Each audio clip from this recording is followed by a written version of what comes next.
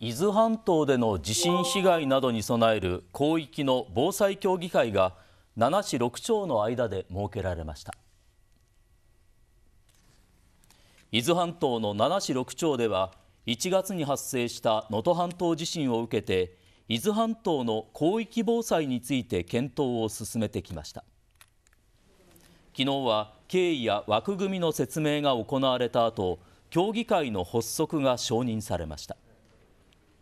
協議会の計画案では観光客が多い夏の昼に南海トラフ地震が発生した想定で物資の補給や観光客の帰宅支援など広域での支援体制を考えていきます。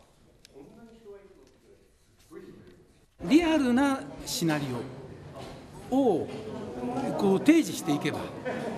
課題と対応策が具体的に出てくるんですね。そこでカバーできないところを広域で作るわけです。今後は来年1月下旬までに計画の骨格を再来年3月末までに計画の概要を作る方針です。